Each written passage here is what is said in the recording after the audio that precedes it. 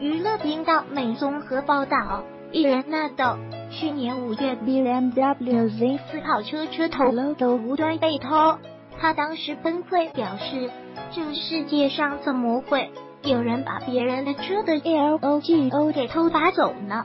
也太让人伤心了吧！”没想到一年后，爱车 logo 再度遭窃。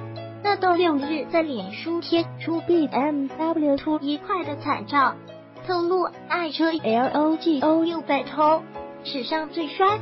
继上次车子 logo 背后，这次是左右边都被偷。他无奈说：“是不是在挤满后车厢的我就成为被 logo 界的大满贯了？”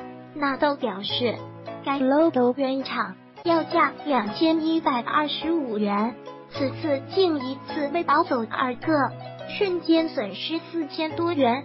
太困惑了，真心不知道为什么有人要偷这个。粉丝也留言叮咛小心被偷车哦。